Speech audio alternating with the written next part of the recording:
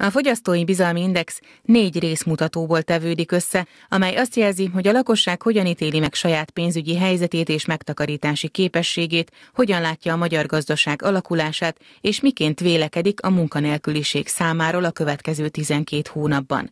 Az index értéke az év első hónapjában 4,7 ponttal emelkedett. A számadat alapján a lakosság valamelyest optimistább januárban. A négy mutatóból három javult éppen. Tehát a pénzügyi helyzet is javult, a megtakarítási képesség is javult, és a magyar gazdaság jövőbeli helyzetének megítélése is javult az elmúlt hónaphoz viszonyítva. De mondom, ez egy korábbi négy-öt évhez képest ez egy alatt, jóval alacsonyabb szint. A békeidőszakban általában ezek, tehát attól függnek ezek a tehát hogy mennyire optimista a lakosság, hogy milyen a nemzetközi, illetve a hazai gazdasági helyzet, hogy konjunktúra, hogy alakulnak ennél fogva a munkahelyek, hogy, hogy a munkaerőpiaci helyzet, az ágazat helyzete például, ahol az illető dolgozik, és ezzel kapcsolatosan hogy alakulnak a keresetei, a bevételei, vagy nyugdíja. Január hónapra összességében a pessimizmus erősödésének egynegyedét sikerült eltüntetni.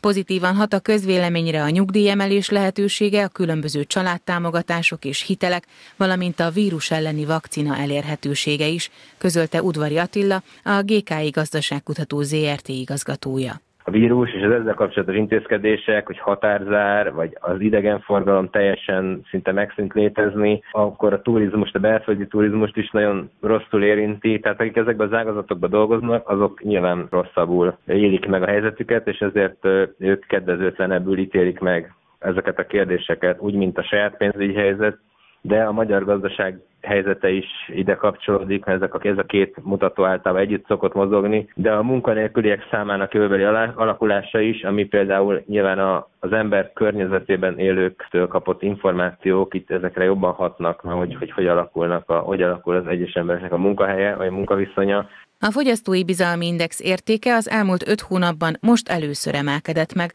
ami azt mutatja, hogy a lakosság bízik a gazdaság stabilizálódásában. Bár a járvány előtti kedvező adatok még nem mérhetőek, csekély emelkedés már kimutatható.